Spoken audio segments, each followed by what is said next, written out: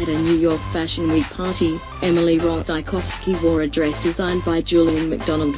The incredibly low-cut piece grazed her belly button, a silhouette very similar to the one Jennifer Lopez made famous at the 2000 Grammys. The model and actress posed confidently on the red carpet, even sharing a photo of herself with the explosion.